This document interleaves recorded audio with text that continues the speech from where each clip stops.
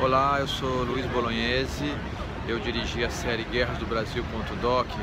Se por acaso você assistiu, você vai ver que todas as entrevistas foram feitas em bibliotecas, todas.